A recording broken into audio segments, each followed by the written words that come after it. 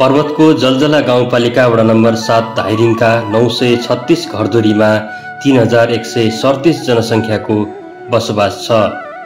मिलनचोक केराबारी लस्ती बाँसपोट सल्यान गुन्टेखेत घाखेत खानी ताङमाङ धारापानी यस वडाका मुख्य बस्ती हुन्।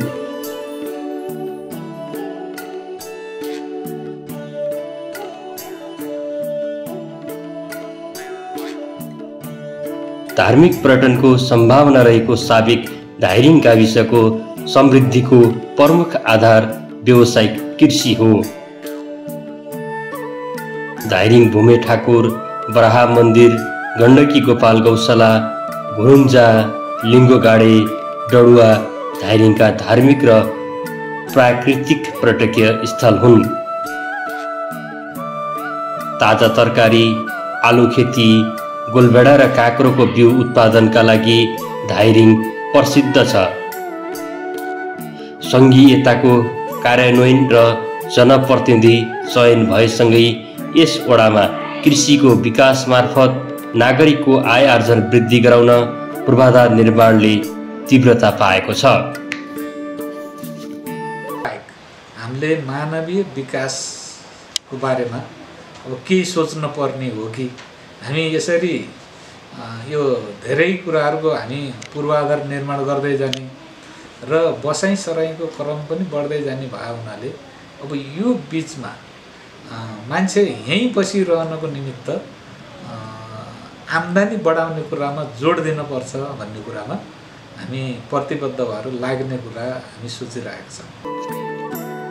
म्याग्दी र मुस्ताङलाई राष्ट्रिय राजमार्गसँग जोड्ने मालढुङ्गा बेनी सडकको यस ओडामा पर्ने लस्तीदेखि मिलनचोकसम्मको सडक स्तर उन्नतिको काम अन्तिम चरणमा पुगेको छ। गण्डकी प्रदेश सरकार मार्फत दस किलोमिटर दूरीको मिलनचोक सल्यान घाखेत धाराखानी ठोटनेरी सडक आयोजना पनि सम्पन्न हुने अवस्थामा छ। मिलनचोकदेखि सल्यानसम्म तिन दशमलव पाँच किलोमिटर सडक यसै वर्ष कालोपत्र भएको छ।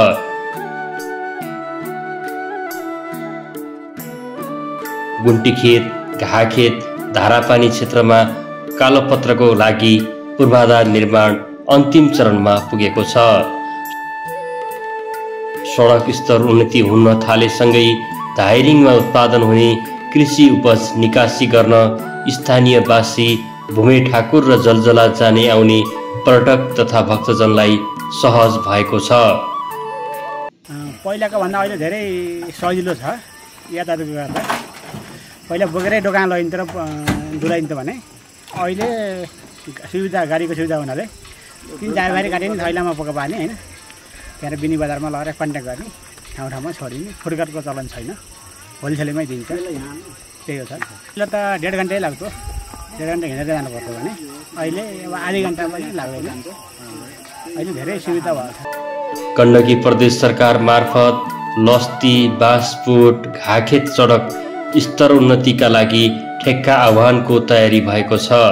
मिलनचोकदेखि सालिजा जोड्ने सडकको प्रवेश बिन्दु र घाखेतमा सडक ढलान भएको छ।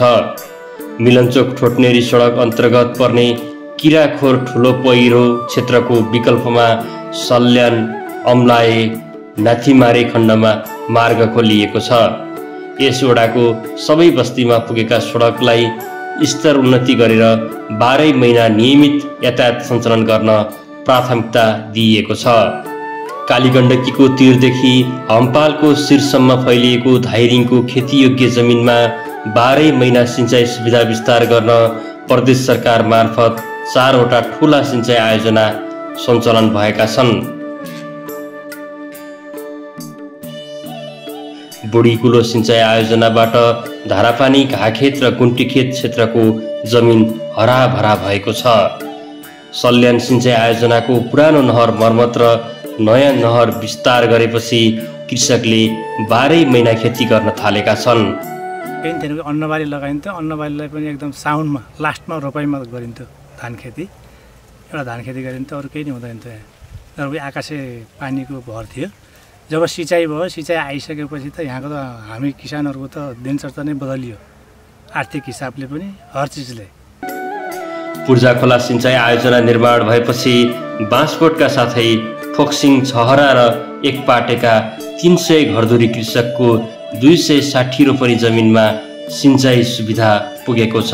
पूर्जा खोला सिँचाइ आयोजनाले बाँसकोटवासीको पुस्तौँ अघिदेखिको सपना पुरा गरेको छ। लगभग तिन सय घरधुरीलाई अ, एक पाटे फोक्सिङ चाउका बाँसकोट छहरासम्मको गरेर तिन सय घरधुरी छ सय बिस ओभर रोपनी क्षेत्रफललाई सिँचाइ भएको छ। अहिले यो गइसकेपछि त्यहाँ कतिपयले चैते धान रोपेका छन्। बाह्रै मास अब पानीको समस्या छैन। अ, पहिलाभन्दा फिफ्टी पर्सेन्ट खेती उत्पादन बढेको छ। कृषकहरू खुसी छन्। तर यो फाँट त्यति राम्रो त्यति समतल त्यति उत्पादनशील फाँट हुँदा हुँदै पनि किनभने यो सिँचाइको अभावले गर्दाखेरि त्यहाँ केही उत्पादन नहुने किनभने अफ सिजन उत्पादन नहुने भएर अब कतिपय मान्छे विस्थापित भएर जानुहुन्थ्यो त्यो भएर अठहत्तर सालमा हामीले एकदम पहल गर्ने बाँसकोटवासीको लाइफस्टाइल परिवर्तन भएको छ। अब साँच्चै भन्नुपर्दा चैते धान रोपे पनि पानीको खाँचो हुने अवस्था छैन। विशेष गरी त्यहाँ तरकारी बढी लाउनुहुन्छ र त्यतातिरको ध्यान छैन। र उहाँहरूको आय स्तर र उहाँहरूको जीवनस्तर दुई चार वर्षमा चेन्ज आउँछ। गुम्ती खोला दुलेपानी भेडाबारी सिँचाइ आयोजना मार्फत भेडाबारी दुलेपानी र लामा बगर क्षेत्रमा सिँचाइ सुविधा विस्तार भएको छ। कलैचेमा पोखरी निर्माण गरेर सिँचाइको व्यवस्था मिलाइएको छ। गुन्टीखेत एकपाटे ताङमाङ खानी गाउँमा पनि सिँचाइ सुविधा विस्तार भएको छ। सिँचाइ सुविधाले कृषकलाई मौसमी र बेमौसमी ताजा तरकारी काँक्रो र गोलभेडाको बिउ उत्पादन गरेर आम्दानी गर्ने अवसर सृजना गरेको छ। त्यही पहल स्वरूप आज हामी तोकिएको समयमा भन्दा पनि धेरै छिटो छिटो। धेरै छिटो कार्यक्रम सम्पन्न भयो। खेत रोप्ने बेला हुन्छ बिहान गएर एघार बजीसम्म हामीले कुलो खन्थ्यौँ।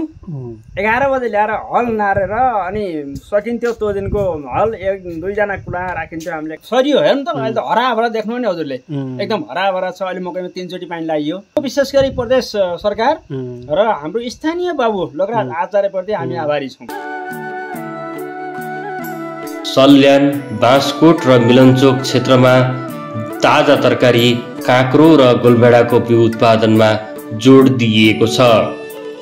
ए यहाँ भक्तपुर लोकल भन्ने एउटा जात छ लोकल जात त्यसको बिउ उत्पादन हुन्छ। कृषकहरू चाहिँ लगभग सय एक सय बिसजना कृषकहरू आबद्ध छन् त्यसमा। यसको बजार काठमाडौँ नै हो काठमाडौँ र पोखरा। ए पोहोर परार त अलिक सस्तो थियो पोहोर पचपन्न सयदेखि छ हजारसम्म बिकेको थियो। अहिले सात आठ हजार हुन्छ होला। एकचोटि नखत पैसा क्यास आउँछ त्यसले एकमुष्ट पैसा बुझ्न पाइन्छ त्यसलाई सहज सहज भएको छ अलिकति समस्या त रोग र पर किराको प्रकोप छ। आफ्नै मेहनतले जबरजस्ती। सल्यानमा मुख्यमन्त्री जलवायु मैत्री कृषि नमुना गाउँ कार्यक्रम मार्फत कृषकलाई टनेल औजार वितरण कृषि उपसङ्कलन केन्द्र निर्माण र तालिम प्रदान गरिएको छ। अहिले हाल यो कार्यक्रममा तिरासी घरधुरी सहभागी छन् र यसमा चाहिँ पैँतिसवटा हामीले चाहिँ स्थायी प्लास्टिक घर घर निर्माण गरेका छौँ भने दुईवटा सामुदायिक नर्सरी। एक पाटेमा सुन्तला र केराबारीमा व्यावसायिक केरा खेती भएको छ। सल्यान मिलनचोक केराबारीका साथै गुन्टीखेत घाखेत धारापानी खानी गाउँमा आलु खेती प्रवर्धनमा प्राथमिकता दिएर कार्यक्रम सञ्चालन भएको छ। विशेष गरी यहाँ आलु धान कोदो मकै यो पहिलेकै भएको छ अहिले यो हाम्रो सिँचाइको लागि बुढी कुलोहरू तदाब रुक रुक्ताका साथ अगाडि बढिरहेको छ। यो बाटाघाटाहरू भए थोपा सिँचाइमाथि पनि थोपा सिँचाइबाट खेतीपाती धान रोप्ने आलुमा पानी लाउने गरिरहेको छ। कोलाइची भन्ने ठाउँमा ठुल्सारा पनि सिँचाइ छ। घाँखेत माथि यो धारापानी। सबैमा बाली नाली खेतीयोग्य जमिन भएको हुनाले सिँचाइको उ छ। र जलजला साथ झाइरिङ भनेको हामीलाई एकदम माथि माथि लिउवा टाउकोतिर नै अँ, गराइयो त्यसमा नि भौतिक सम् सम्प्रदायहरू हाम्रो एकदम ऐतिहासिक चिजवस्तुहरू भएको मानिन्छ र सिँचाइ बाटोघाटो नै हो हाम्रो विशेष गरी। विद्युत सुविधा विस्तार भइसकेको यस ओडाका बासिन्दाको सहजता र जीवनस्तर सुधारका लागि एक घर एक धारा सहितको खानेपानी आयोजना सञ्चालन भएको छ। बाँसकोटमा निर्माण भएको पूर्जा खोला खानेपानी आयोजना मार्फत धारामा पानी वितरणको तयारी भएको छ। सल्यान घाखेत गुन्टेखेत धारापानीमा खानेपानी आयोजनाहरू निर्माणाधीन छन्। तीव्र रूपमा बस्ती विकास भइरहेको मिलनचोकमा नयाँ खानेपानी आयोजना सुरु गर्न लागि छ। खानेपानी चाहिँ बराबर चाहिँ एक घर एक धारा भने तापनि अब भनाइ मात्रै छ। सम्पन्न भएको छैन। कुन दिन हुने हो थाहा छैन। त्यो गर्नको लागि त हामीले चाहिँ यो कसरी हो कति वर्षको हो कुन योजना हो कहाँबाट आएको हो भनेर चाहिँ खोजी चाहिँ गरेका छौँ। माथिल्लो धाइरिङमा रहेको कृष्ण भवन धर्म मावि सल्यानको फर्से धाइरिङ मावि र बाँसबोटको अमर आधारभूत विद्यालयको नयाँ भवन निर्माण भएको छ। भवन निर्माण भएपछि पठन पाठनमा सहज भएको छ। काम भइराखेको थियो। विद्यार्थी बिहान सवेरै चाहिँ आउनु पर्थ्यो सिटमा बस्नुको लागि। नभएदेखि चाहिँ झ्यालमा बसेर पनि पढ्नुपर्ने अवस्था थियो। यस भवनको लागि हाम्रा कुनै कमी कमजोरी छैन तथापि जुन समय समय बनाउनको लागि प्रविधि मैत्री चाहिँ विद्यालय अझ बन्नलाई गाह्रो छ। विज्ञान प्रयोगशाला छ कम्प्युटर ल्याब पनि छ लाइब्रेरी पनि छ यी लाइब्रेरी पनि चाहिँ निर्माण भएको छ। धार्मिक सांस्कृतिक जैविक र पर्यावरणीय महत्त्व बोकेका स्थानीय जातका गाईको आनुवांशिक स्रोत संरक्षणसँगै तीर्थस्थलको रूपमा विकास गर्न धाइरिङको गण्डकी गोपाल गौशालामा सङ्घीय सरकार सङ्घको सहकारीमा पूर्वाधार निर्माण सुरु भएको छ। यस स्थानलाई स्थानीय जातका गाई संरक्षण केन्द्र र तीर्थस्थलको रूपमा विकास गर्ने योजना रहेको छ। पैँचालिसवटा गाईहरू छन्। यहाँ पर्यटकीय स्थल बनाउनको लागि हुँदैछ बन्दैछ। संरचनाहरू बनाउँदैछन्। पालन्जर छ होइन? अनि जलजला।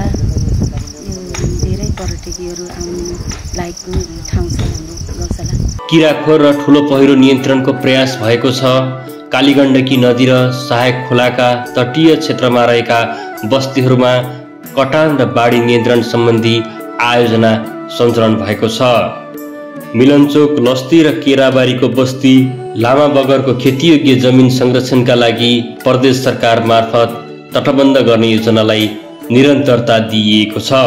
आँट एकदम राम्रो जमिन हो र यो दुई तिन वर्ष भयो तिन चार वर्ष यो पहिलेदेखि अहिले काटे कटान भइराखेको हुँदा एक दुई वर्ष अलिअलि जाली मात्रै लाएर हामीले संरक्षण त अलिअलि भएको छ र यसमा हजुरहरूले धेरै आरसिसी ढलान गरेर यसको संरक्षण गरिदिनु होला। गण्डकी प्रदेशकै प्रसिद्ध धार्मिक स्थलको रूपमा स्थापित हुँदै गएको धाइरिङ भूमि ठाकुरको संरक्षण पूर्वाधार निर्माण र प्रबन्धनमा जोड दिइएको छ। धारापानी र घाखेतको सिमानामा रहेको बराहा मन्दिर रामकुना लगायतका मठ मन्दिरको संरक्षण गरिएको छ। गौशाला भूमिथान र हम्पाल जलजला। अब यसलाई जोड्ने गरी किनभने यो जलजला जानलाई छोटो सर्किट पनि हुने र दु दुईवटा महत्त्वपूर्ण पर्यटकीय स्थलको अवलोकन गरेर जान पाइने हुनाले यो कुरामा पनि हामीले अलि नयाँ ढङ्गले सोचेका छौँ। सरकारको साझेदारीमा गौशालामा पनि हामी ठुलै परियोजना सञ्चालन गर्दैछौँ र भूमिथानमा पनि सङ्घ सरकारकै विशेष अनुदानको रकम छ अब त्यसले हामीले सुरुवात गर्दैछौँ। र माथि जलजलासम्म यसलाई जोड्ने कुरा सोचेका छौँ। विभिन्न बस्तीभित्र धार्मिक पर्यटकीय स्थलमा पैदल मार्ग र गोरेटो बाटो निर्माण भएको छ। पदमार्ग निर्माण भएपछि बस्ती सफा सुघर सहज र सुरक्षित रूपमा हिँडडुल गर्न पाउने वातावरण बनेको छ। अप्ठ्यारो थिए घुरेटा बाटाहरू यिनीहरू बनाइराखेका छन्। यहाँको जनतालाई धेरै राहत भएको छ सर। अप्ठ्यारा बाटाघाटा सबै एकदम राम्रै भएको छ। हामी आइसकेपछि सबै काम राम्रै भएको छ। मिलनचोक लस्ती खानी गाउँ निमेकी फोक्सिङमा निर्माण भएका आमा समूहको भवनमा भेला बैठक तालिम गोष्ठी सञ्चालन गर्न सहज भएको छ।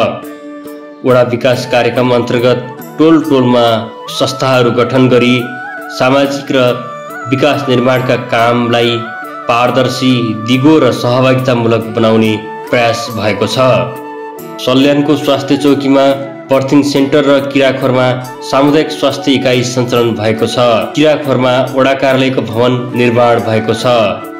वडा कार्यालयको अलावा तल्लो भेगका सेवाग्राहीको सहजताका लागि मिलन चोकमा सेवा केन्द्र राखेर सेवा प्रवाहको व्यवस्था मिलाइएको छ। फाइरिङको भौगोलिक कारणले गर्दाखेरि हामीले चाहिँ दुई ठाउँबाट सेवा प्रदान गर्ने गरेका छौँ। एउटा चाहिँ वडा कार्यालयबाट हामीले मिलन चोकमा सेवा कार्यालय राखेर तल्लो बेलका जनताहरूलाई सेवा दिनको लागि मिलन चोकमा सेवा कार्यालय राखेर चाहिँ सञ्चालन गरिरहेका छौँ। यस वडामा भएका विकास निर्माणका योजना जनप्रतिनिधि राजनीतिक दल सामाजिक अगुवाहरूको सक्रियताले आम नागरिकहरूमा आशा र भरोसाको सञ्चार गराएको छ। हालसम्म हासिल भएका उपलब्धिलाई दिगो र प्रतिफलयुक्त बनाउँदै नागरिकको जीवनस्तरमा सुधार ल्याउनका लागि जनप्रतिनिधिहरूसँगै सरकारवाला र समुदायले पनि साथ दिनुपर्ने देखिन्छ।